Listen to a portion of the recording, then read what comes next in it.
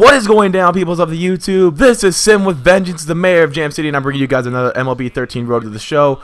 But you guys can watch the gameplay if you want. I'm gonna do a little bit of storytelling, and I got just got out of English class, and I'm writing a paper about sportsmanship, and it got me thinking. Sin, you were just a baseball coach this past summer for your little brother's team, and there was a time. I, this is about to be the story I'm about to tell you, and uh, some crazy shit happened. So, um, there was a game at home that I was playing against a team called Sumner, just a team south of my hometown in New Hampton, Iowa. I'm not going to mention any names. I'm just going to mention the city.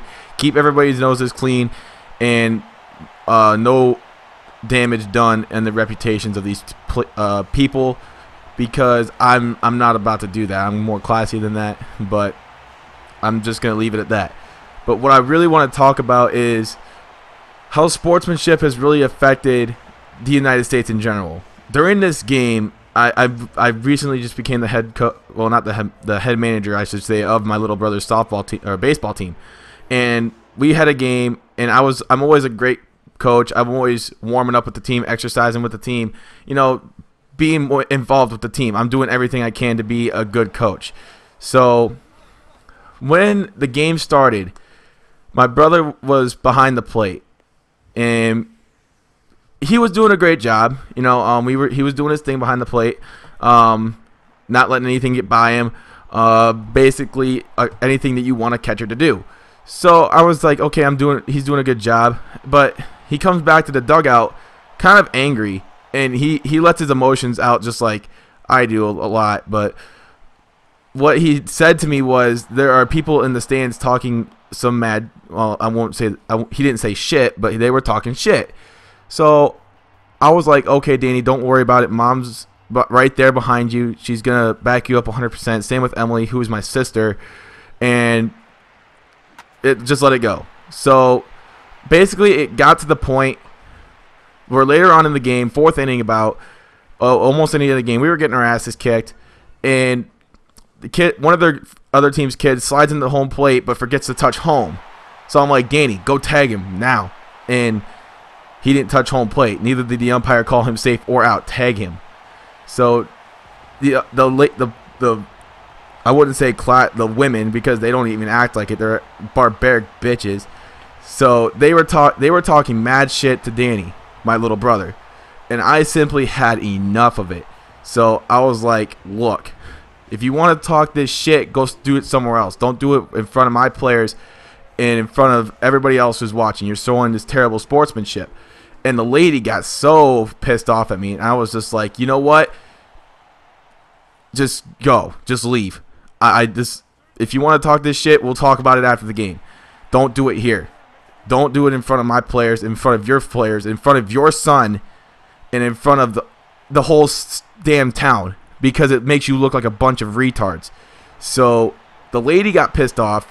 She wanted to fight. I think she was. I think majorly because because of the fact that she was.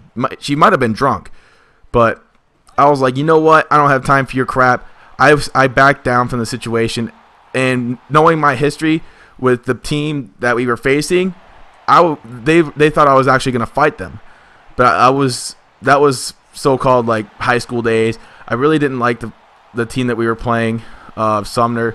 They're they're not really uh, the classiest team out there.